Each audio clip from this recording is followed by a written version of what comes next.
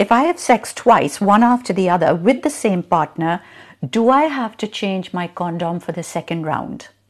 So, yes, Definitely, you must change a condom after coming in it for the first time before you go back again and have penetrative sex. The reason being, most of them become, uh, you know, flaccid penis after you've had one ejaculation.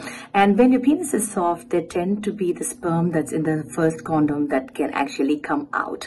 And you don't want that. And if that happens, then it doesn't serve the point of it being protective against STIs or it does not serve its purpose of it being protective against pregnancies. So if you don't want that to happen, you definitely need to change condoms between one uh, penetration and the second penetration. And also, I always tell people to remember that condom is a one-time only use product. So you need to change if you want to prevent yourself from acquiring STIs, you need to change condom between uh, every sexual act. For example, if you're having vaginal sex and if you're going to have anal penetration, I recommend you change the condom. Again, if you're having anal sex and then going to have vaginal penetration, change the condom.